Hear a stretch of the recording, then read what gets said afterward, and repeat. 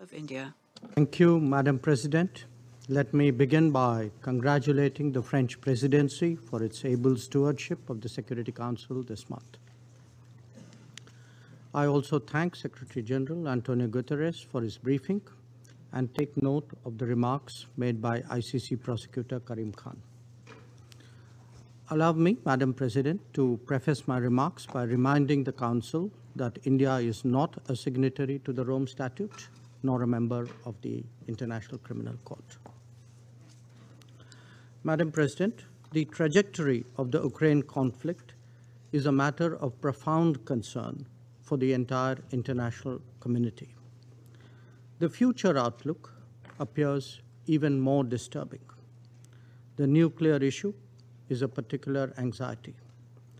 In a globalized world, the impact of the conflict is being felt even in distant regions. We have all experienced its consequences in terms of surging costs and actual shortages of food grains, fertilizers, and fuel. On this score, too, there are good grounds to be worried about what awaits us. The global south, especially, is feeling the pain very acutely. We must, therefore, not initiate measures that further complicates the struggling global economy. And that is why India strongly reiterates the need for an immediate cessation of all hostilities and a return to dialogue and diplomacy. Clearly, as Prime Minister Narendra Modi has emphasized, this cannot be an era of war. On our part, we are also providing both humanitarian assistance to Ukraine and economic support to some of our neighbors under economic stress. Turning to the specific topic before the Council today, let me emphasize that even in conflict situations, there can be no justification for violation of human rights or of international law. Where any such acts occur, it is imperative that they are investigated in an objective and independent manner. This was the position we took with regard to the killings in Bucha, and this is the position we take even today. The Council will also recall that we had then supported calls for an independent investigation into the Bucha incident. The fight against impunity is critical to the larger pursuit of securing peace and justice.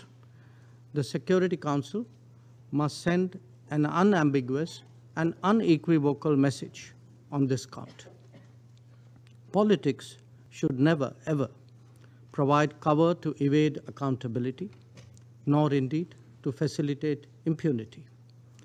Regrettably, we have seen this of late in this very chamber when it comes to sanctioning of some of the world's most dreaded terrorists. If egregious attacks committed in broad daylight are left unpunished, this Council must reflect on the signals we are sending on impunity. There must be consistency if we are to ensure credibility. Once again, let me emphasize, Madam President, that the need of the hour is to end this conflict in Ukraine and return to the negotiating table.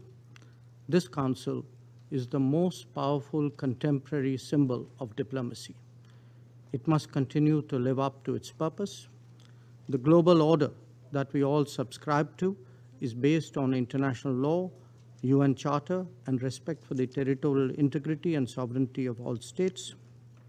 These principles, too, must be upheld without exception. I thank you, Madam President.